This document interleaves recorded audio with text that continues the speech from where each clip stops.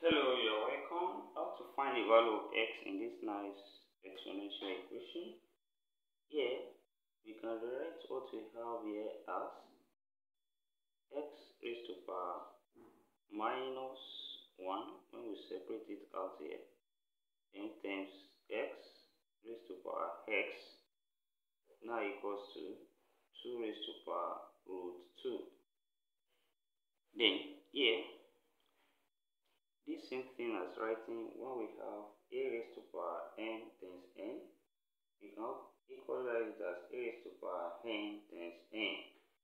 So here this multiplies now, we can interchange it and say this is x raised to power x raised to power x, n times here we have minus 1, then equals to 2 raised to power root 2 from here. Then in the next step, we can separate this out from here.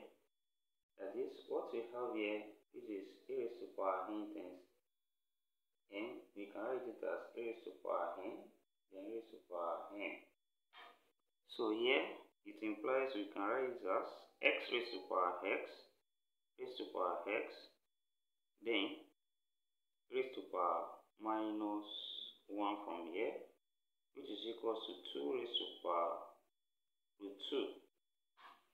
Then here let's multiply both sides with power of minus 1. That is, here we have x raised to power x, raised to power x, raised to power minus 1, then multiply by power of minus 1 again. Then also on this side we have 2 raised to power root 2 then raised to power minus 1. That is here, this power, when it multiplies, we now have minus 1 multiply minus 1, which will be plus 1. So here, we can write this as x raised to power x raised to power x, then raised to power 1 now, which is now equals to, here also, this minus multiply this root 2 and we can write this as 2 raised to power minus root 2 from here. Then also here we can separate this minus root 2 as minus 1 times root 2. That is here becomes x raised to power x raised to power x then raised to power 1 is now equals to 2 raised to power minus 1 then times root 2 from here. Then which also we have power separated then we have it as x raised to power x raised to power x here from here which is now equals to 2 raised to power minus 1 then raised to power root 2 from here. Then from here, we can write 2 raised to power minus 1 as 1 over 2. And this here becomes x raised to power x raised to power x now equals to 1 over 2. Then raised to power root 2 on this side. Then from here, rewrite root 2 here as root 2 times root 2 over root 2. That is, if root 2 cancel root 2 here, we see have root 2. And from here, we can multiply that and say this is root 2 square, then over root 2. And here, square cancel square roots, and this gives us 2 over root 2. That is here we can write root 2 as 2 over root 2. Then here we have x raised to power x raised to power x now equals to 1 over 2 raised to power 2 over root 2. Then from here as well we can write 2 over root 2 and separate it as 2 times 1 over root 2.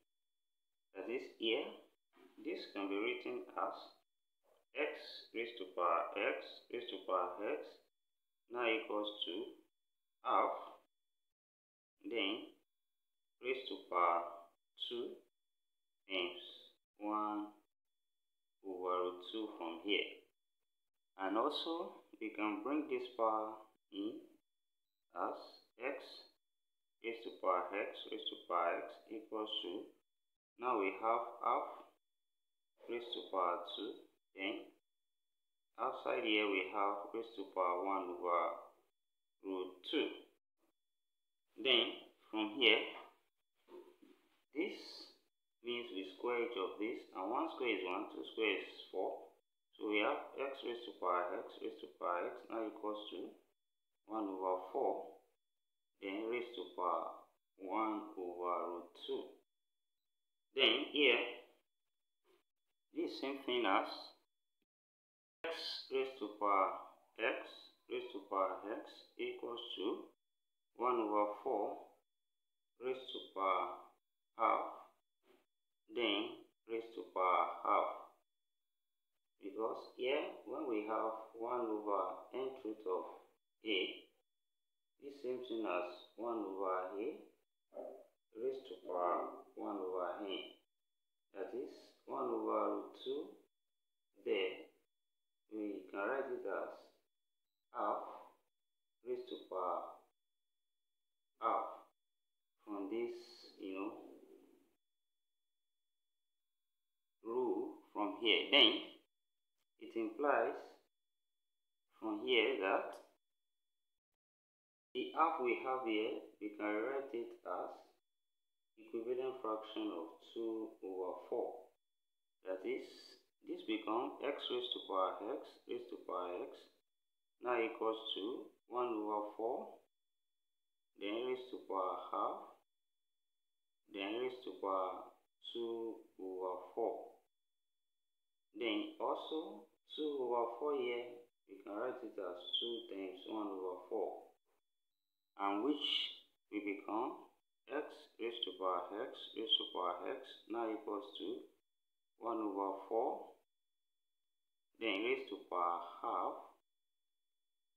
Then raised to power 2 times 1 over 4 then also 1 square here is 1 2 square is 4 then it implies that we have x raised to power x raised to power x now equals to 1 over 4 raised to power 1 over 4 then also it is is raised to power 1 over 4. And when we look at this pattern from here, we have x raised to power x raised to power x, same number. And also here, 1 over 4 raised to power 1 over 4 raised to power 1 over 4. So here, clearly we can see that x now equals to 1 over 4 from here. And here we have come to the end of this class. And thank you for watching. Don't forget these steps, subscribe to my channel and turn on the notification bell. Share this video and give a thumbs up. And see you next class and bye for now.